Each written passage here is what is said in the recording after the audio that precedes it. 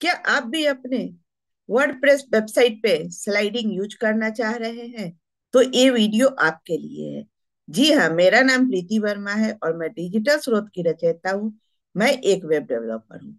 आज मैं आपको बताऊँगी कि वेबसाइट पे वर्डप्रेस पे एलिमेंटर से स्लाइडिंग कैसे लगाते हैं और उसे किस स्टेप में यूज़ करते हैं। तो इस वीडियो के अंत तक बने रहिएगा ताकि जो भी मैं स्टेप यूज़ करूँ, उसे आप भी यूज़ करके आप अपना स्लाइडिंग लगा सकते हैं। तो सबसे पहले मैं अपना स्क्रीन शेयर करती हूँ आप लोगों के साथ। ये वर्डप्रेस का डैशबोर्ड है।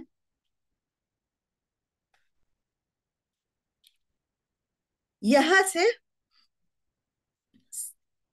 यहाँ पे आपको साइड में एक्स्ट्रा वगैरह आपका अगर बना हुआ है या फिर आपको बनाना है वेबसाइट तो वो सभी कुछ मेरे और भी वीडियो है वहाँ आप दे सकते हैं अगर आपका वेबसाइट बनाना है तो। यहाँ पे सबसे पहले हम प्लगइन में चलते हैं। प्लगइन में चल के यहाँ पे एक एड न्यू प्लगइन करते हैं। अगर आप पूरी वेबसाइट बनाना चा, चाहते हैं या बनवाना चाहते हैं तो नीचे लिंक है, उसे क्लिक कीजिए और वहाँ से आप कर सकते हैं। यहाँ पे एक प्लगइन लेंगे जिसका नाम है सीना यहाँ है Sina extension for Elementor slider gallery form modal data table इसे इंस्टॉल कर लेंगे सबसे पहले।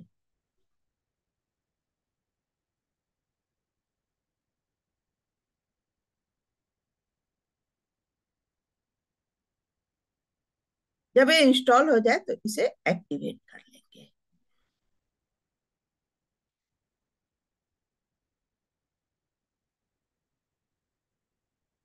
यहाँ पे एक्टिवेट हो गया है। इसे हम जैसे है वैसे ही रहने देंगे। इसमें कोई भी हम चेंजेज नहीं करेंगे। अभी क्या करते हैं, यहाँ टेम्पलेट में जाते हैं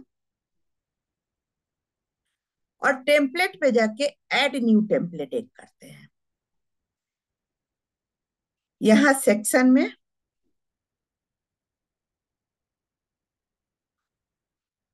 यहाँ सेक्शन सेलेक्ट करेंगे, यहाँ स्लाइडर वन सेलेक्ट कर लेंगे, यहाँ क्रिएट करेंगे।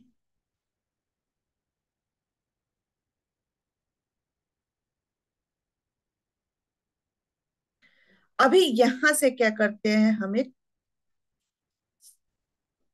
ब्लॉक लेते हैं।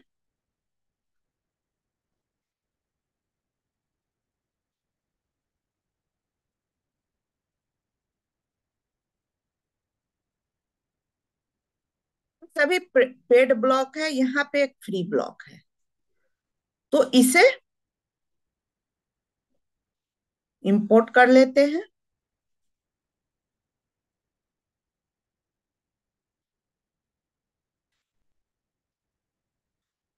अभी करेंगे इसे सेव द टेम्पलेट कर लेंगे, यहाँ पे वन कर लेंगे।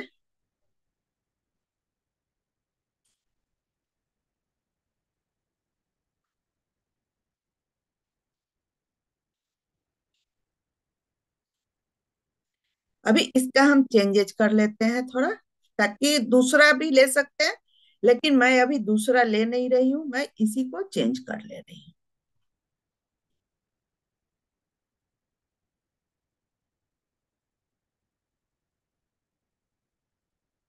यहाँ से बटन चेंज कर ली।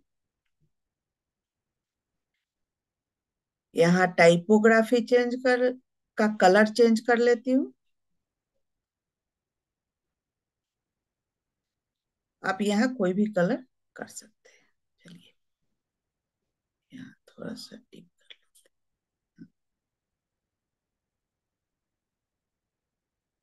और ये साइज़ में बड़ा है तो इसे हम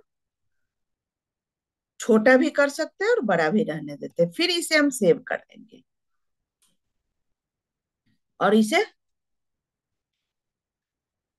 भी कर लेते हैं।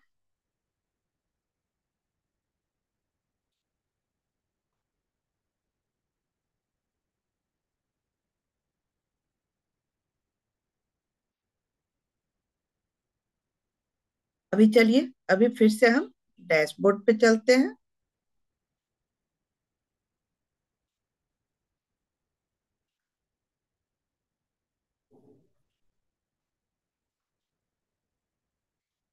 यहाँ पे पेजेज पे चलेंगे। पेजेज पे चलने के बाद एक, एक मैं पेज ले लेती हूँ जैसे कि चलिए। कंटेंट का पेज ले ली हूँ।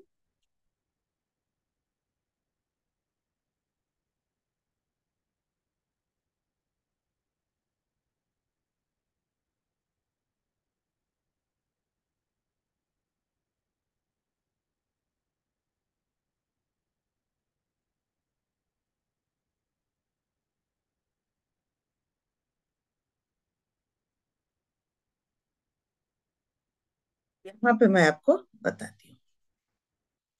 यहाँ पे एक सेक्शन लेंगे। और सेक्शन लेने के बाद यहाँ एलिमेंटर में आएँगे। और एलिमेंटर में आने के बाद नीचे आएँगे जब तो यहाँ पे आप देखिएगा ऑलरेडी सी डी सी, जो हम प्लगइन इंस्टॉल किए थे, उसका विजेज कुछ आ गया है। तो यहाँ से हम कंटेंट स्लाइडर ले लेंगे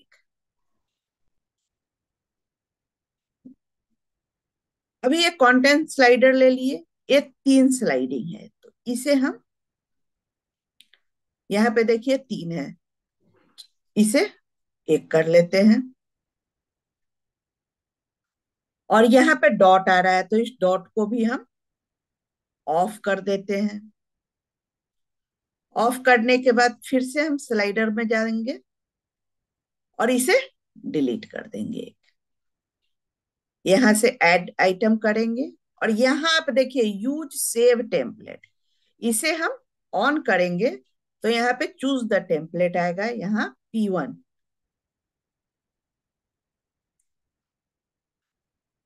और फिर इसे चेंज कर, बंद कर देते हैं। फिर दूसरा लेंगे, दूसरा को भी फिर यहाँ ऑन कर लेंगे और यहाँ पे पी टू करके आ जाएगा।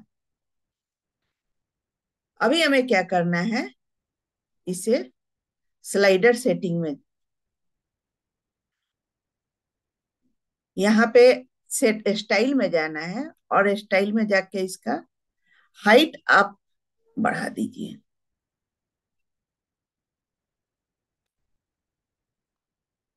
यहाँ से आप अपने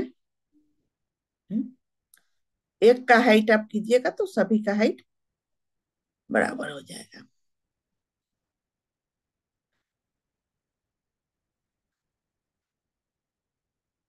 अभी क्या करते हैं कि यहाँ से और इसे फुल ब्रीथ कर देते हैं। फुल ब्रीथ करने के बाद इसे पब्लिश कर देते हैं।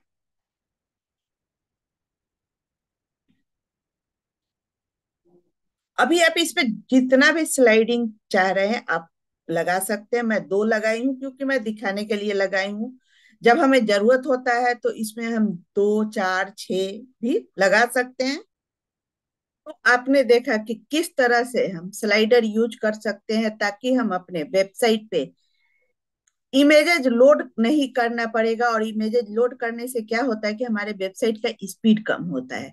तो आप भी अपने वेबसाइट पे इस तरह का स्लाइड यूज़ कीजिए और अपने वेबसाइट को लोडिंग से बचाइए। तो वेबसाइट से जुड़ी हुई और भी जानकारी मैं लेकर आती हूँ और आती रहूँगी।